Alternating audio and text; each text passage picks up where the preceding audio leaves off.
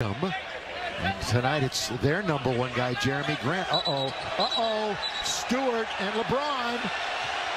Stewart is hot, and everybody's coming out now. Now, this is ridiculous. Yeah, he must have caught an elbow or something, but Oh yeah, he's he's got a lot of blood streaming from the side of the eye. Look, here goes Stewart.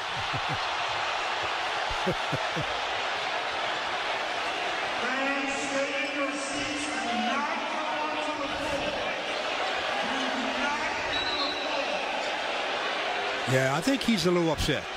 You've got coaches, you got security guys. Look at Dwane Casey's like just calm down. And there's Cade Cunningham also. And Tatum. The free throw, and he's still trying to get loose.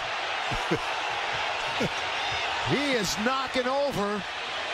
I mean, he's out of the game without question. I mean, this it's is like he's running through the line. That's nuts. That's just yeah, crazy that's, right that's now. That's just crazy. That's crazy right now. And both coaching staffs are making sure that the players don't come out any further. well,